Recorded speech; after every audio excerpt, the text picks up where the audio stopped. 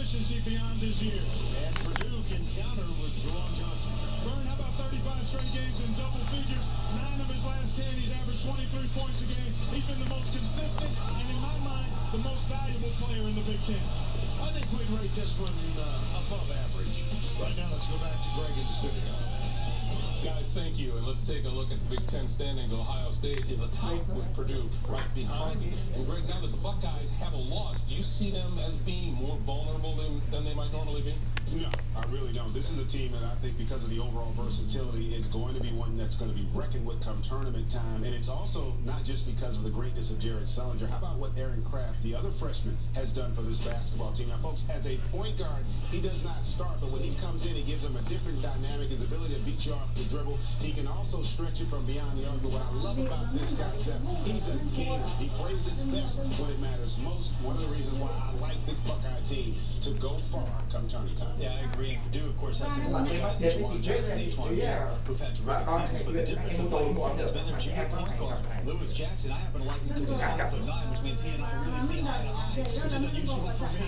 Ôi đây mà nói nói là nói đó mà con ngày xưa nó làm ở đây thì nó không được mà nó nó yên nói nhà thờ đây nó em kìm mà em nói nó đáo lắm con kia để nói cái nhà thờ kia nó nhà thờ vậy nói vậy mà bên cạnh nhà con kia cũng ngu ngu mình kèm á Uh, we talked about that big day in college basketball. Let's look back and recap some à, key con kia matches tưởng from là the college basketball nó quậy quá con kia beginning with Texas and Nebraska, Greg. And then early on, Jordan Hamilton knocking down the three Texas up, looking like they may lay claim to that number one title. But then Lance Jeter here, a beautiful driving layup, and early on, now I should say late, Nebraska's dominating Texas 12-1 run to get back into it late. J'Covan Brown misses the three, and Nebraska, Doc Sadler knocks them off and puts themselves, I think, really right in the middle of it in terms of having that large bid. Nebraska 18 and 8 on the season. Meanwhile, in Lawrence, Kansas, Colorado at Kansas. Yeah, Kansas uh, coming back from that loss at, uh, to Kansas State.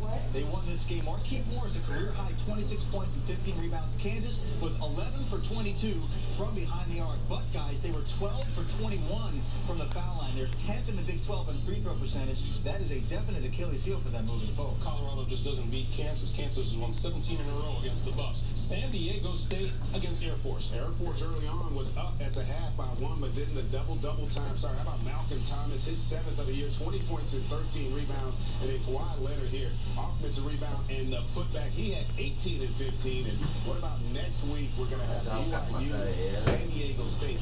Could be a matchup for a that ultimately gets the number one seed. San Diego State has only lost one game. lấy cái hình không BYU thôi get a chance to avenge that next Saturday here on CBS. Meanwhile, BYU at TCU. And we're not going to start off with the Jimmer Fredette highlight. It's Steven Rogers making the three. BYU uh, pretty much uh, waltzed in this one. Fredette did have